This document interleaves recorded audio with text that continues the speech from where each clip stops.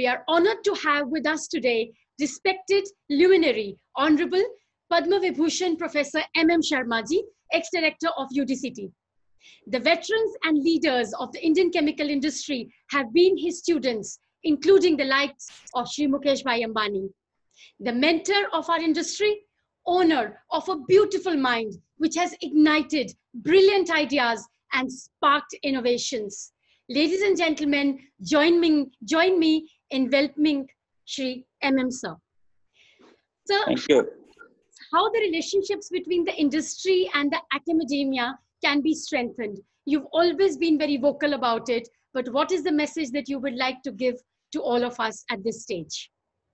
See, in, in applied sciences, it is a necessity for academic institutions to have a real uh, link with industry.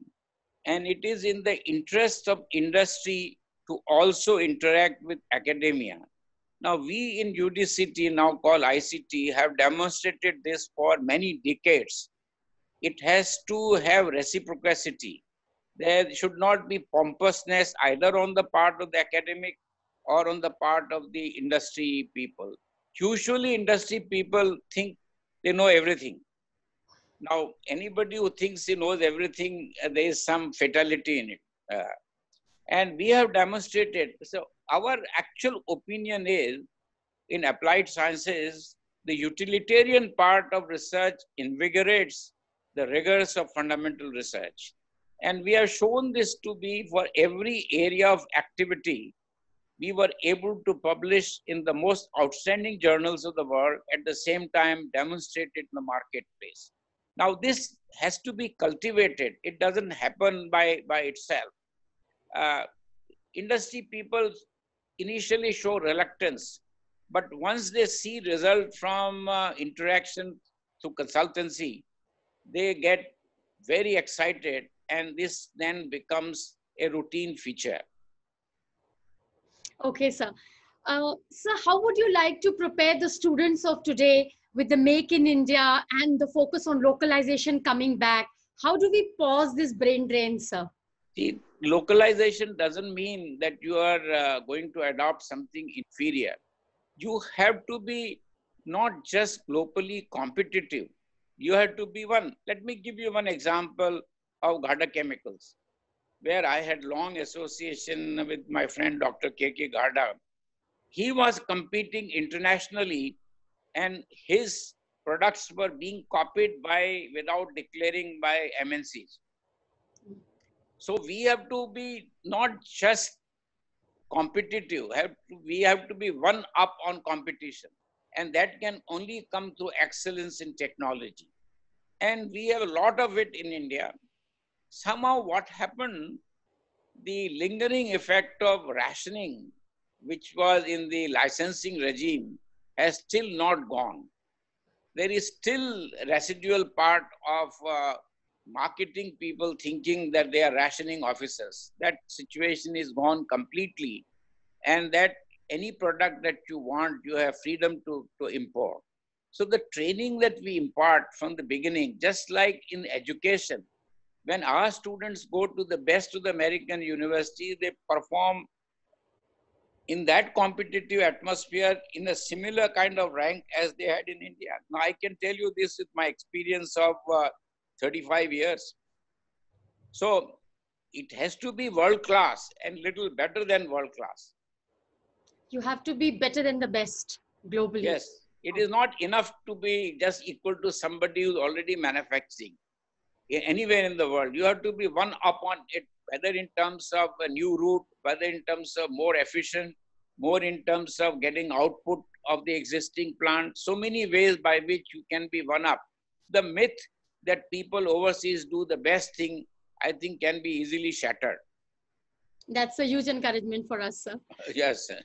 So it is always said that the Indian chemical industry lags innovation uh, we say that we don't have many indigenous technologies. We depend on the Western world for innovations. What is the actual problem, sir? No, I think it is not correct. See, if you go back to the history of the awards of ICMA, which is now called ICC, PC Ray Award or award for process design, you'll find number of companies in India develop processes sometime for the first time in the world. But on the whole, we have not come out with any innovative process for a large bulk chemical. For example, we have not come out with any unique catalytic process which we could sell for all over the world. We have the credentials to do that. Now, there is still reticence. You know, I'll tell you, as a lifetime consultant, one of the things that puts me off is when I'm confronted with a question, has, if I gave a suggestion, say, please do this. He says, anybody has done like this? It puts me off. I tell them, can't I be the first one in the world? So that attitude has not gone away in industry. That they should feel convinced that we can be the first in the world. And therefore, I have a very nice, simple slogan for it Apna Hat Jagannath. okay, so the, old, the age old saying holds good. Yes. You know, this self reliance, this has been going on for a long time. That doesn't mean we are insulating ourselves. It doesn't mean that. We have to come out with processes, scale of manufacture that is globally competitive. There is no compromise on that. Okay, sir. Well, so you can't be permitting some small scale fellow who is polluting and then then you say, oh, we are not developing, we are only just repeating what others have done. That's not the way to do it. See, please bear in mind, chemical industry is highly science based. Yeah. And you can see, for example, in pharma industry, how people have been able to bypass the process. Uh, patents come out with superior processes to make APIs. And there are many uh, uh, pharmaceutical laboratories, uh, institution companies in India where even 10% plus is spent on R&D. Hmm. But that is more in the pharma pharmaceutical uh, More in pharma. But you know what happens? The cost of developing, this is still for known uh, molecules. The cost of developing what we call NCE, new chemical entities, abnormally large.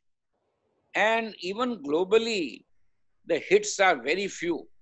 If you see some of the blockbusters in the world, these big companies bought the molecule from other companies. For example, when Viagra became a great success, the molecule was bought from another company.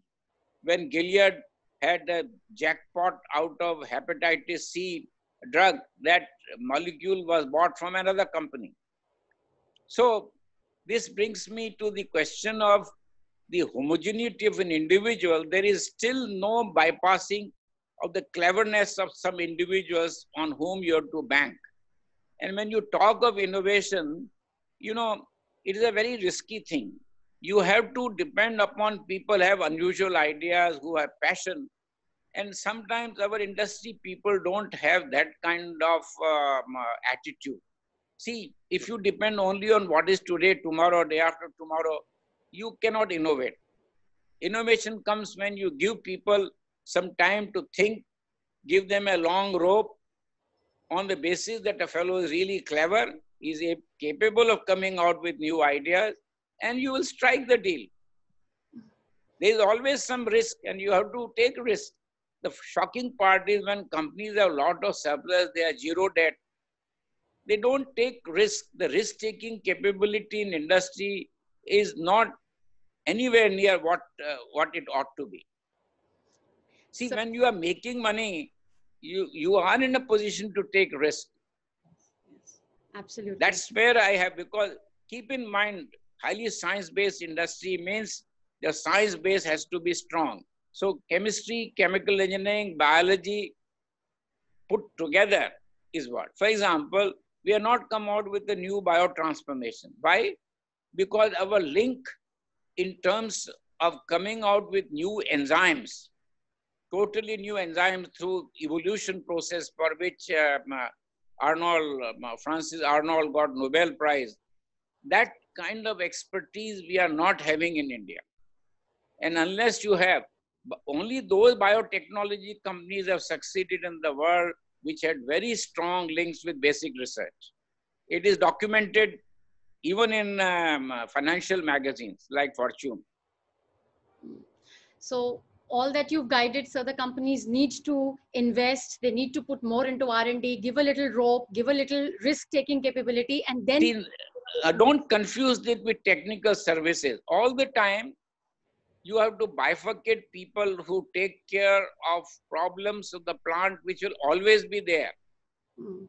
That is operation. So, uh, so people who should be kept out who are only doing developmental work and not solving the current problems. Agreed, sir. Absolutely. That's where the clash comes. So I'm saying there should be clear distinction between R&D and technical services. Understood, sir. Yeah. So the size of the specialty chemicals industry in India is very small and the potential is huge. What is the one thing that is holding it back, sir? See, I couldn't agree more with you. The potential is very large. Now, if you like, if you take some of the intermediates that go for API and pharma industry, uh, we have done okay. You constantly hear about imports of lot of these molecules from China. Yes. Because Chinese are satisfied with less, with very low returns. And they then develop at our cost. Imagine an item like aspirin requiring salicylic acid, major part of it is imported. Paraamino uh, required for uh, paracetamol, one of the brand name Pinclocin, major part is imported. Now this is just not uh, why should we give privilege to some country in the world when the technology they are practicing is exactly the technology we can, get, we can practice or we have even practiced? So, you know, this business of 5% lower price. Now look at Japan model. Japan, Japanese will buy within Japan from Japanese companies, even if it's somewhat higher price compared to imports. Now, I'm not trying to support that you buy indigenously where the price is much higher than price at which you can import. But 5-10% difference is, it is trivial, you know. That is not, should not be the reason for allowing these large scale imports. And when you talk of this, look at many bulk um, uh, uh, chemicals that we are importing in embarrassingly large quantities like styrene, PVC, um, you take uh, thermoplastic elastomers, acetic acid, methanol. Fortunately, acrylic acid and esters would be done in the country, where there also the imports were huge. Now, there are many reasons why this is this is so. You mentioned in your questionnaire that said caustic chlorine people grumble. Correct. Please keep in mind that major outlet for chlorine is always for PVC. Correct. And we are importing such large quantity of PVC. Now, I leave it to you as to why this is not being done when it is so obvious. Agreed, because sir. in, individual cost, caustic chlorine people don't have access to ethylene. Hmm. Whereas the ethylene people could be close where chlorine can come by pipeline. And therefore they can produce. Now, in, no point in importing uh, vinyl chloride or EDC, ethylene dichloride, because that is where chlorine goes.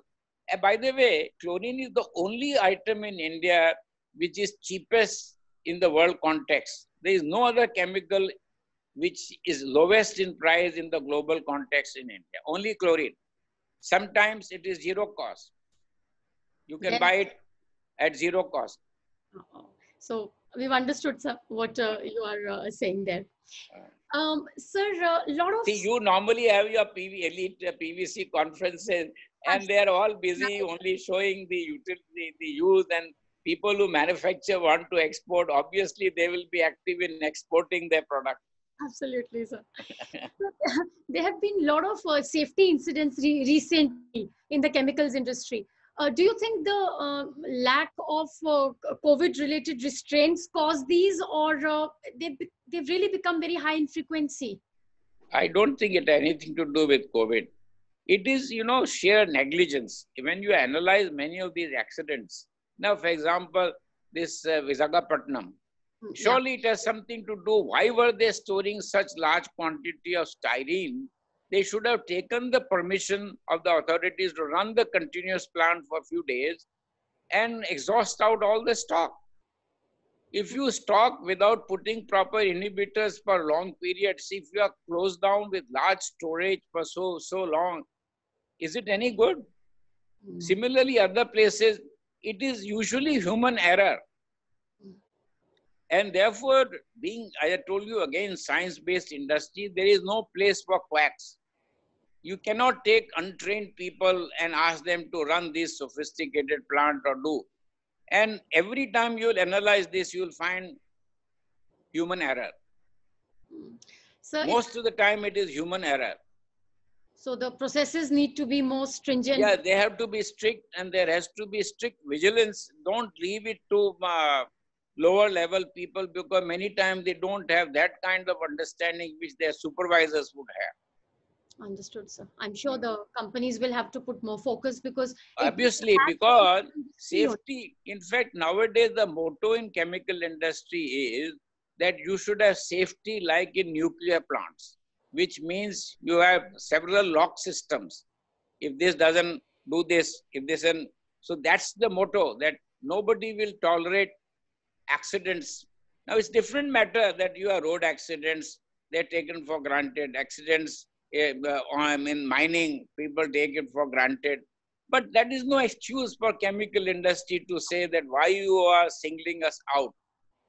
Being, see, same thing in atomic power stations. Nobody will tolerate uh, any accident that takes place. Therefore, the safety measures that they take are of such order.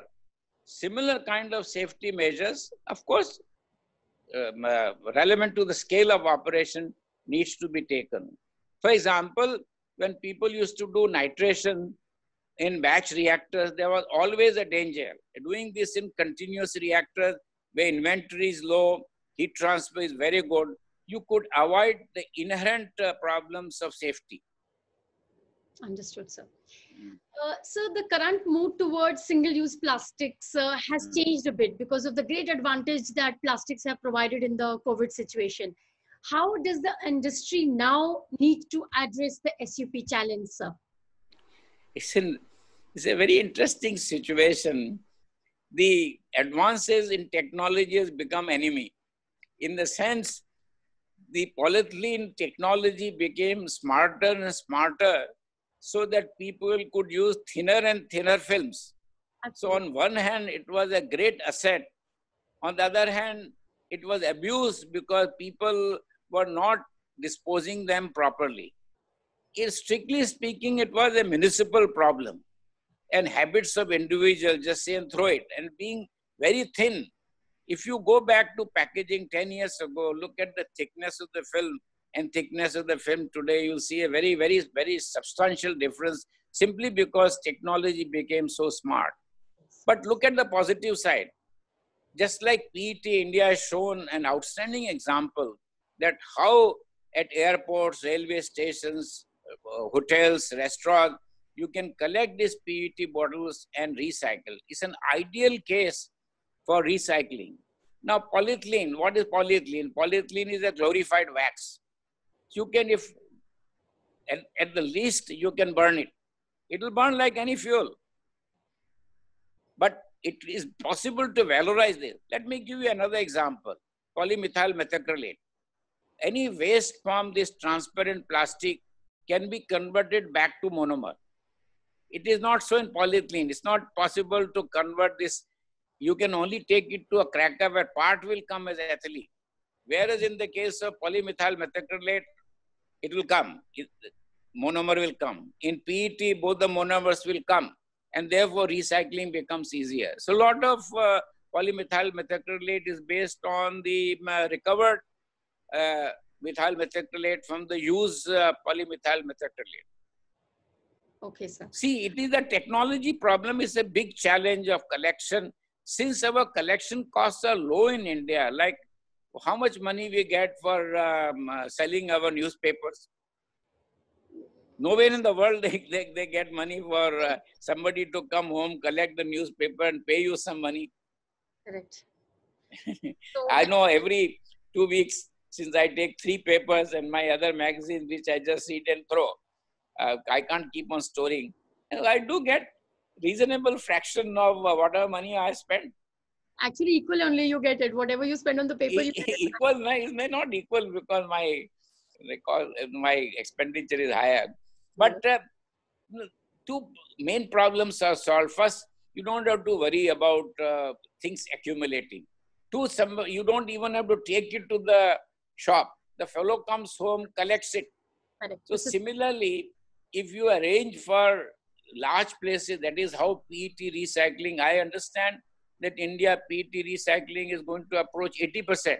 Yes, yes, it is very high, sir. Uh, so something similar can happen depending upon how you're using the material. Understood, sir. Same thing in polycarbonate. Whatever is the waste polycarbonate, it is possible with known technology. Okay. Uh, it is poly, polymethyl methacrylate. It is little, it is very difficult in the case of PVC. So main use of PVC for rigid application, you don't have this problem. Hmm, correct. So If is the you- Sorry. If the film is there, then you have problem. Correct. But Absolutely. PVC film is hardly used these days. You know, most of it is polyethylene or polypropylene. Correct. PVC is very, very less. So is the focus on the biodegradable plastics going to increase a lot now? Okay, let me take you back few years ago. What kind of uh, reports? Because you are smart, you have been seeing this, you have been having these conferences. Let me take you 10 years ago, five years ago. What were bombastic statements were being made that polylactic acid will throw away. So Cargill uh, teamed up with one of the most renowned polymer producing company, Dow. Next, Dow withdrew from it. Now, see, there is no substitute for cost. Now, and this biodegradability is a highly question mark. How long will it take? They don't get uh, used instantaneously. And when people say, all right, we'll move to paper, they are not doing what you call the sustainability analysis. Now, paper requires such huge quantity of water, and where are forests in India? Then you will become more and more dependent on import of uh, pulp. Then Yeah. treatment of water waste, and then on top of it, now do you realize that on Xerox paper, what is the weight of chemicals? No, Forget about chemicals that were used in making the paper. The weight of chemicals could be in excess of 10% sir. Mm. On the uh, Xerox paper. And people who are making Xerox paper are making good profit, you know. Sir, um, with this current wave of China, specifically recently in the last two days, a lot of intermediaries, chemical intermediaries are coming from China. And then we utilize them for making our finished products and then either indigenously use it or export it. How do you think this pattern is going to change going forward, sir? See, it is entirely possible. Now, let me take simple example. Why should we be importing uh, salicylic acid for aspirin? We started making salicylic acid in India more than 60 years ago. Now, if China sells at 10% lower than the cost at which we produce, now is this justification for country to allow imports? Not that we are inefficient. My technology is same as what the Chinese are practicing. Same thing for paracetamol, for paraminophenol.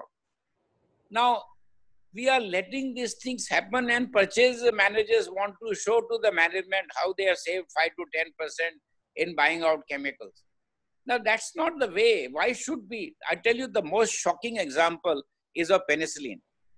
We started making penicillin in Hindustan antibiotics in mid 50s. Today, there is zero production of penicillin V and G. We are totally dependent upon penicillin import from, from China. We have all the sapphires that you make from penicillin, all most of the antibiotics that are, that are used today, you nobody uses penicillin directly, only the derivatives of the penicillin, which are all chemical modification. We are totally dependent upon this thing coming from China. It's not that Chinese were very efficient in producing uh, penicillin. No.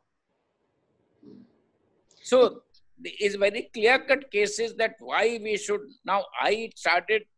Let me tell you something bluntly. I was seized of this problem a few years ago. I tried to share this with management of companies. Please select some where your outgo is much, develop technology, and build tollers so that you will also uh, um, uh, improve MSMEs. You will also promote more MSMEs. You know, it falls flat on the ears of the top management. They will give, huh, yes, we should do it, we should do. But they don't do. Because they are seeing, oh, tomorrow how I'm competitive. This I'm getting this raw material lower price. There is nothing which is so unique in the technology. Let's take citric acid. We started making citric acid long time ago. That too from cane molasses, which nobody else was doing. Then the unit was closed because the Chinese are selling at a ridiculously lower price. Not that they are they are very efficient. They had absolutely some novel biotechnology process, nothing of the kind. So you do case by case analysis, and I bet majority of them we can conveniently manufacture in India. They may need some protection, not excessive protection. And change in the mindset of people. Fortunately, what has happened with the present virus, the whole world, including Europe and United States, are saying they don't want to depend on China. They must have alternate sources. India also, now they are talking. In fact, PMO's office um, uh, gives instructions, not chemicals ministry. I know a PMO's office saying that reduce dependence on imports from China. well, well, you don't need the PMO to tell you that. It, is, it is obvious. Now, give me another example, metformin. Everybody knows that diabetic um, um, patient metformin is indispensable. We are supposed to be one of the largest manufacturers of metformin. But hang on, all of it is critically dependent upon dicyandiamide to be imported from China. So what is the use of our, our claiming that we are the largest manufacturer when we are actually vulnerable? Mm. Now, it's not that we never manufactured dicyandiamide in India. We did long ago. Long time back. We've not built on it. Understood, sir. Sir, what you're really saying is that we have the technology and only because of a little price advantage that we get because china is able to give in volumes we trade off in that and we do not buy it locally and they have been able to build on that is what i understand look at it other way you know how what percentage of our um, formulated drugs are being exported you take agrochemicals what just now a big war is going on because suddenly government decided to ban 27 uh, agrochemicals you must have read about it there's a big fight going on. Now, lot of these are exported. Now, how can you export if those countries um, had um, uh, banned these items? Obviously, they are allowing those items, including United States, um, uh, Australia, Brazil, and all. So, you know, sometimes saying that I am the largest producer and you are forgetting the inside part of it. I know of companies say I'm the largest manufacturer of metformin and I'm globally. And then I said, what about the, uh, if I plug the supply of dicyandiamide, what will you do? Mm. The other component you are getting in India, but the critical component is dicyandiamide. So this becoming, you know, partial dependence, I can understand. But total dependence is, is just not acceptable. Absolutely, sir. So now you say, some people say methanol uh, economy. Or if our natural gas is cost is high, which is the dominant cost in making methanol, how would our methanol be globally competitive? So you cannot make something out of nothing.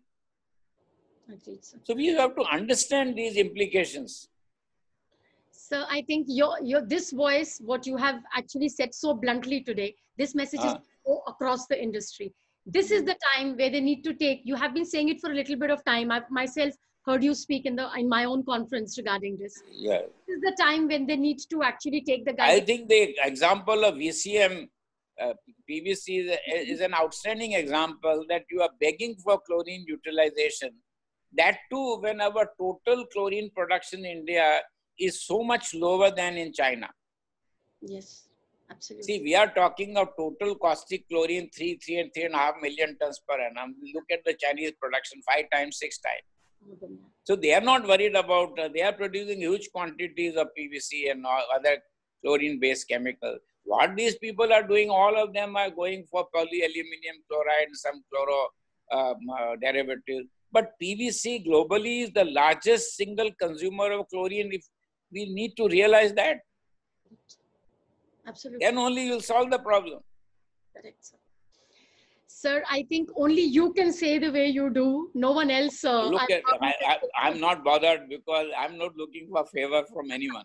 and what i wanted to say is that in this time when people are you know take having a little time to look back at everything analyze by taking two steps back your advice and your guidance is going to be like gold to them and everyone should take it with open hands like we take from a guru See, I mentioned to you that few years ago, I was pleading for many of these items on which we are critically dependent.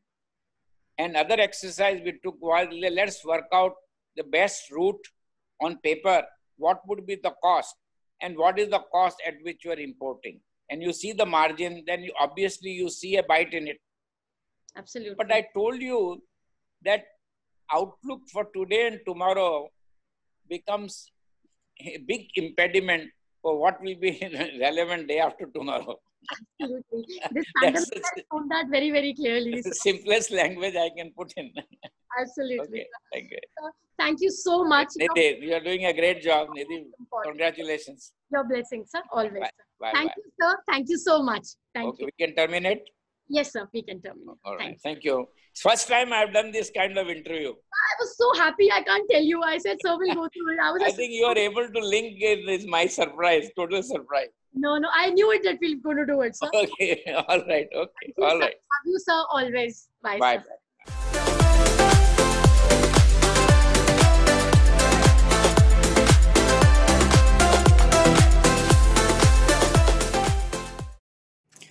Don't miss any video from Insights with Nidhi. Subscribe to our channel and click the bell icon at the bottom of the video.